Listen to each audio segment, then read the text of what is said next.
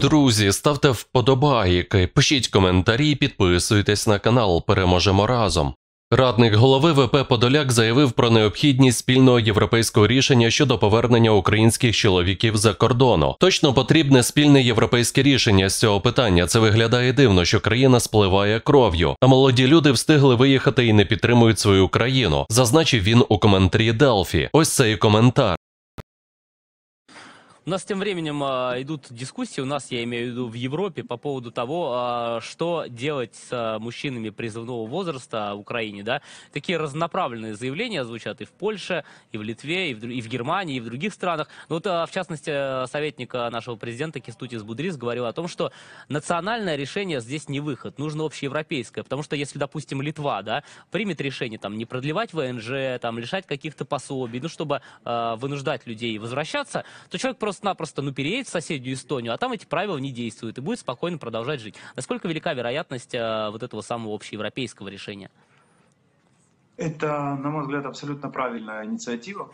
Абсолютно точно нужно общеевропейское решение. И мне нравится, что эта дискуссия сейчас идет в Европе, потому что это выглядит действительно несколько странно. Да? То есть страна истекает кровью, она воюет и так далее. А есть э, репутационно странная составляющая, когда очень много молодых людей в первые месяцы войны, успевшие выехать из страны, они мало того, что не поддерживают свою страну, которая воюет все эти два года, ну то есть там ищут варианты, как это поддерживать, там, волонтерить, донатить, ну какие-то э, экономические формулы, а самое главное, какие-то протесты. Мы же не видели, да, массовых протестов по поводу «дайте оружие», «Украина истекает кровью» и так далее от всех этих э, ре- ребят, да, то вот такая дискуссия сейчас это хорошо.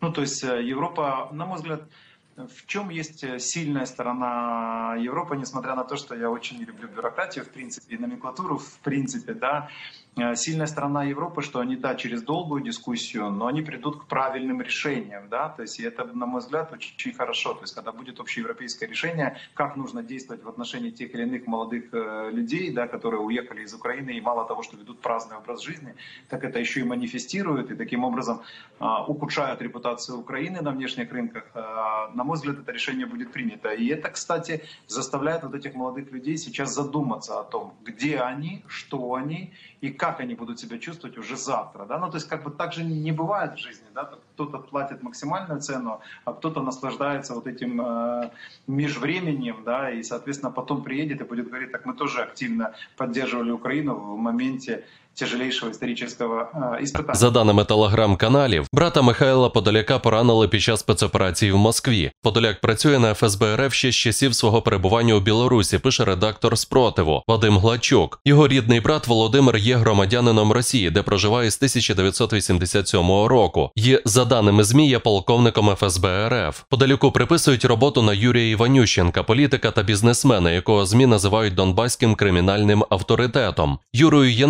Єнакіївським, наближеним до Віктора Януковича. У 2011 році Подоляк був одним зі спікерів на прес-конференції, присвяченій доказам того, що Іванющенко ніколи не притягався до кримінальної відповідальності та не був причетним до криміналітету. Зокрема, вони спиралися на довідку від МВС та книгу колишнього голови МВС Юрія Луценка Донецька мафія, в якій не фігурувало прізвище Іванющенка. На думку учасників прес-конференції, регулярні публікації про належність Іванющенко до кримінального світу носили замовний характер. Під час парламентських виборів 2012 року ЗМІ називали Михайла Подоляка смотрящим від Сергія Льовочкіна по київських округах. У тому числі він працював із кандидатом у народні депутати по скандальному мажоритарному округу номер 223 Київ-Шевченківський район Віктором Пилипишиним. Суспільство чимало питань до кадрової політики Офіса президента України і власне до самих топ-посадовців цієї структури. Упродовж років активісти наполягають на звільненні заступників голови офіса Олега Татарова і Андрія Смирнова,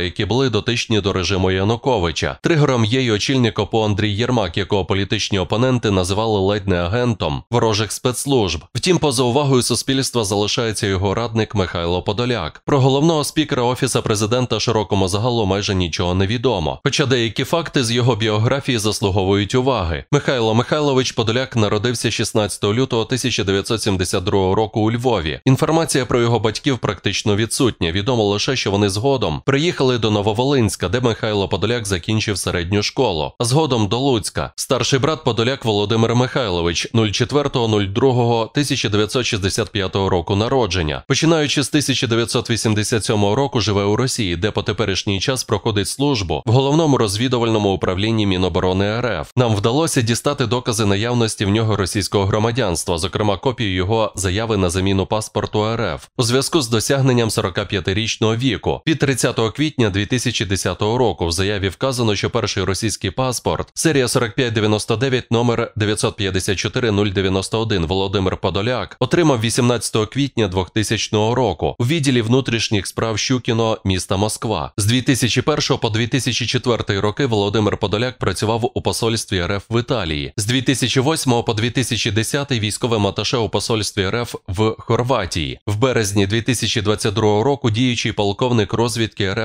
Володимир Михайлович Подоляк був присутній на стамбульській зустрічі української російської делегації. Його можна побачити на кадрах пропагандистського каналу Мир 24 працівники якого фільмували ту зустріч. Цілком ймовірно, що у Стамбулі брати спілкувалися і не лише на особисті теми. Росію цікавить інформація про постачання Україні західного озброєння. Редакція каналу не несе відповідальності за висловлювання окремих політологів, політиків, експертів та анонімних телеграм-каналів. Голова у кожного своя висновки кожен робить сам.